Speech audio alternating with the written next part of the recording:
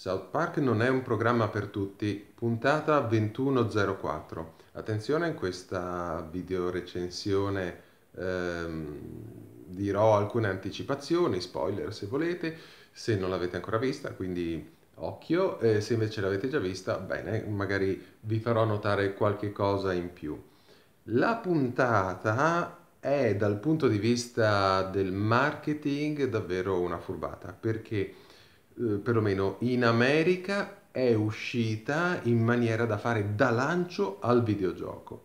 Eh, scontri diretti in Italia che abbiamo doppiato sempre noi, noi intendo cooperativa ODS, eh, tra l'altro sono da poco arrivato dalla conferenza legata a Voci nell'ombra e al, al, festival Voci nell'ombra dove si è anche parlato di videogiochi. E ci sono alcuni aspetti molto carini da analizzare, da guardare, eh, soprattutto del doppiaggio dei videogiochi. E in particolare questa puntata facendo da fil rouge, da lancio, anzi da prequel, così come il titolo della puntata stessa, eh, è molto interessante anche dal punto di vista degli adattamenti perché l'ultima scena è presente quasi eh, in maniera completa all'interno del videogioco, al lancio del, del videogioco.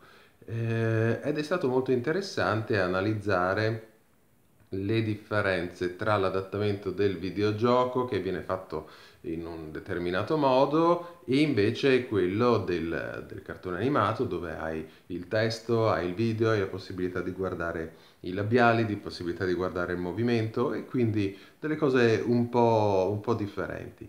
In questa puntata qualche frecciatina a Netflix che in questo periodo eh, spero anche in futuro sta dando un buon lavoro alla, alle piazze del doppiaggio, sta riversando tanto materiale e sta anche accettando molto, eh, molto materiale, molte idee, anche i draghi omosessuali, cioè temi assurdi. Sto, sto, anche leggendo da un foglio perché ho preso qualche appunto. Ah, la presenza, questo caso, in questo caso è stato davvero molto strano adattare, trovare e doppiare Mark Zuckerberg eh, fuori sync. E subito quando l'ho incontrato nell'adattamento ho detto come mai? Poi ho scoperto che probabilmente è per prenderlo in giro per una eh, diretta di una cosa virtuale che ha lanciato Facebook dove il suo avatar parlava fuori sync. Quindi si sentiva questo avatar che muoveva la bocca praticamente in maniera diversa. E oltretutto c'erano degli effetti un po' strani. Eh, me, la mia paura era che eh, il pubblico non capisse che quella di eh, Mark Zuckerberg in realtà è una scelta voluta essere fuori sync. E quindi ci sono i soliti furboni che dicono eh, hanno doppiato male fuori sync Credo che fosse anche una paura, una preoccupazione di South Park, di eh, Trey Parker e Matt Stone. infatti c'è una persona che a un certo punto dice Ehi, ma sembra pure doppiato male e con degli effetti strani sulla voce. Quindi per giustificare anche per loro questa, questa scelta. Eh, vi racconto solo un, un aneddoto, un aneddoto sul, su questo doppiaggio. Renato Novara eh, che doppia il, il, CEO di Facebook, ha un istinto davvero, eh, un grande professionista così eh, elevato per il sync che faceva fatica a rimanere fuori sync e istintivamente riusciva ad aggiustarmele al volo, a ritardarle, distenderle e venivano quasi a sync. Allora dovevamo, no guarda Renato, stavolta dobbiamo andare fuori sync. Poi dopo un po' eh, abbiamo eh, doppiato quasi esclusivamente sull'audio e quindi ci siamo ritrovati, ma questo per fare dei complimenti a Renato che ha un istinto del doppiaggio davvero è, è difficile da, da fermare. E poi l'altro tema molto carino che viene più spesso eh, ribadito è Facebook, ciò che c'è scritto su Facebook è vero, ah, tanto che anche il bambino dice ma Facebook dice che è vero, ma è falso, ma Facebook dice che è vero, e ha sostituito un po' quello che una volta era il, quello che diceva la TV, quello che diceva eh, il giornale è vero. E in questo caso ha ragione Cartman che a modo suo dice eh, pensa con la tua testa, pensa con la tua testa. Poi, vediamo cos'altro mi sono scritto. Mm, ah sì, importante quello che combina eh, il professor Chaos Butters. Eh, egli dice, io non faccio nulla di illegale, metto in giro delle fake news, delle notizie false, non c'è nulla di illegale ed è una cosa abbastanza comune ed è quello che mi è piaciuto anche di questa puntata perché eh, è abbastanza... Mm, eh, una cosa che succede anche in Italia, alle volte ci sono dei temi che noi italiani facciamo un po' fatica da comprendere, a capire, e invece questo qua, soprattutto di Facebook, eh, c'è molto caro. E quindi le fake news, le notizie false, quelle che vengono eh, spacciate come satira, ironia, magari facendo leva sul razzismo, facendo leva su eh, alcuni istinti facilmente eh, sobillabili, diciamo così. Ecco, è una delle caratteristiche di Facebook.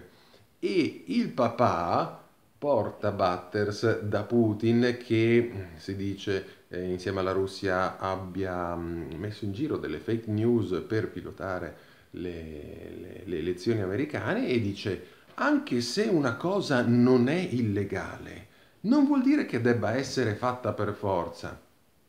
Mm?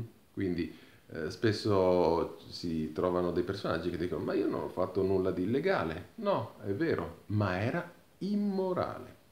Quindi bella puntata dove ci sono state tante cose eh, messe insieme. Un'ultima cosa, davvero eh, un po' di polemiche, qualcuno, ma di, di, di asini ce ne sono sempre. Bueno, Putin De Silvestri Lorenzo, giocatore del Torino, è venuto a trovarci, è venuto a trovarci proprio mentre stavamo doppiando South Park, lui è un grande ammiratore del, del cartone, del prodotto.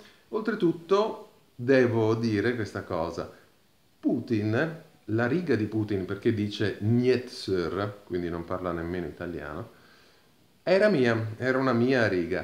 E ho detto, senti Lorenzo, ma perché non eh, provi a farla tu? Lui si è divertito, chiaramente una, una riga non è, non si può dire che è doppiaggio, lui non è un doppiatore, non è nemmeno equiparabile a quelle mm, eh, marchette dei talent. È stato gentile, ci siamo divertiti. Ha fatto questa battuta, quindi prima di dire ha doppiato, ruba il lavoro ai doppiatori, eh, sappi Lorenzo che mi devi ben due caffè. Se non sapete perché due caffè, allora dovete un po' guardare il mio sito, cercare di capire quanto guadagna a riga un doppiatore. Eh, questo è quanto mi ha, mi ha, sottratto Lorenzo, quindi non ti perdonerò mai. E guardate la battuta e se vi risulta brutta, fatta male, allora magari a quel punto potete scrivere qualcosa. Ma oltretutto ha, ha pure una bella voce, un voce Comunque, per questo è tutto, per ora è tutto, 21.04 la puntata, ci sentiamo per la prossima puntata alla 21.05 sorprese e continuiamo ad analizzare meglio le puntate di South Park che nascondono sempre delle cose molto interessanti. Quindi come dice Cartman nel videogioco, passo e ciao.